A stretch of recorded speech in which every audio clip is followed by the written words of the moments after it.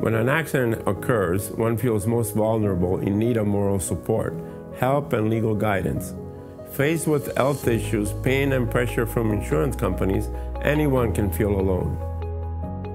My name is Sal Grillo, the owner and founder of Grillo Barristers. Today I am asking you to let me help you. My parents taught me to respect people and help those who need help.